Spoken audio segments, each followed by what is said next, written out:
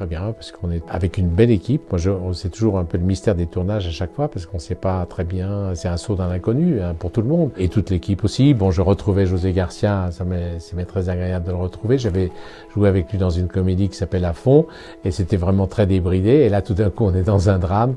Euh, donc, c'est beaucoup, c'est l'opposé. C'est tout ce qu'on aime quand on est un comédien. C'est bien. À chaque fois, c'est très intense et c'est un beau défi.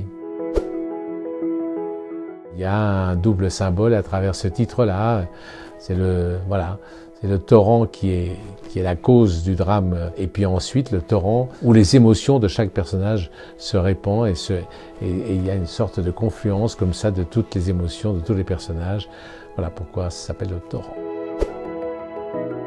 Je découvre la région euh, et la beauté de la région. J'ai fait hier deux fois le tour du lac de Gérard May. J'aime beaucoup cette, cette, harmonie qu'il peut y avoir entre l'eau, euh, les vallons. Je trouve que c'est une richesse naturelle qui est tout à fait euh, agréable à voir et à vivre. Ouais, c'est une belle région, très beau.